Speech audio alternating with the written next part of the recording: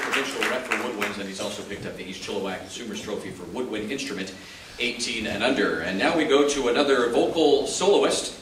Uh, besides picking up some hardware, she is the provincial representative for Intermediate Musical Theater. And she will be accompanied by, I believe, the hardest working piano accompanist in the country tonight, Lisa Seiner. She will be performing Still a Hurting from the last five years by Brown Claire McGladrey.